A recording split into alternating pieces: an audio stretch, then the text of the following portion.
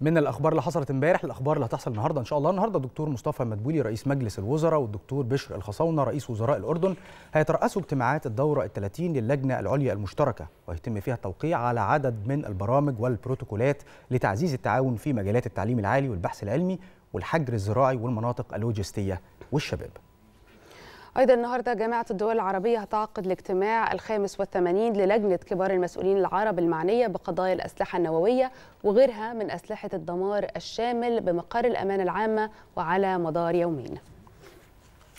النهارده شركة الكهرباء بمحافظة كفر الشيخ هتقطع الكهرباء عن تسع قرى بتتبع مركز كفر الشيخ من الساعة 9 وربع الصبح ولحد الساعة 3 العصر وده بسبب أعمال الصيانة.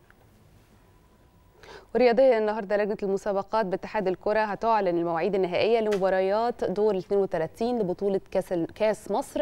ومن المقرر إنه تقام هذه المباريات في الفترة من 11 ولحد 14 مارس اللي جاي.